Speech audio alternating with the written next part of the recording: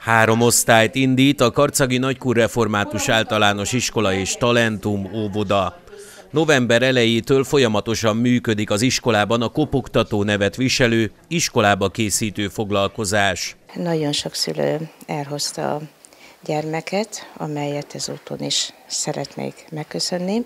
Ezek a foglalkozások két hetente csütörtökön vannak, például a héten is csütörtökön jönnek a szülők, jönnek a gyerekek, nagy bulit rendezünk, nagy farsangi bulit, Zoli Bohóccal együtt, farsang evéssel, úgy, ahogy ezt, ezt kell, és utána a iskola előkészítő foglalkozás március végével zárul.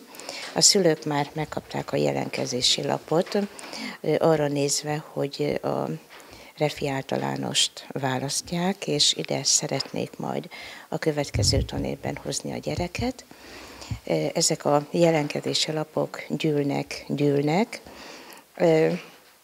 A második évfolyamon három osztályunk van, tehát három tanítónéni fog visszafordulni a következő tanévben, és így úgy gondoltuk, hogy, hogy három osztályban kell nekünk gondolkodni, hiszen inkább három kisebb létszámú osztály, mint két nagyobb létszámú osztály. Így tervezzük. A három tanítónéni más-más szakterület specialista, így a szülők ez alapján is választhatnak tanítót gyermeküknek. Gulyás Szentesi Katalin tanítónő, és az ő műveltség területe angol.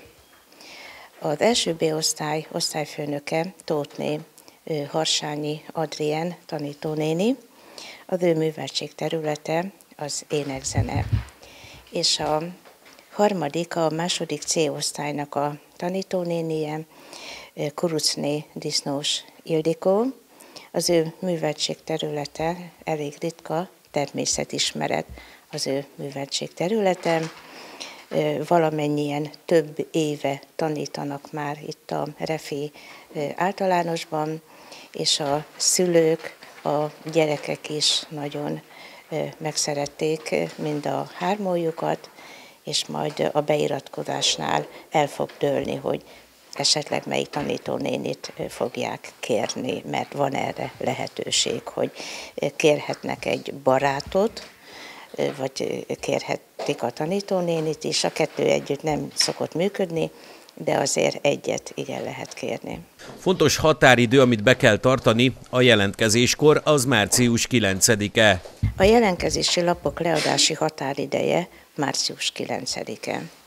Ekkor a jelentkezéseket zárjuk, és utána már nem tudunk fogadni és a beiratkozás az április 21-én, 20-án és 21-én lesz, csütörtökön és pénteken.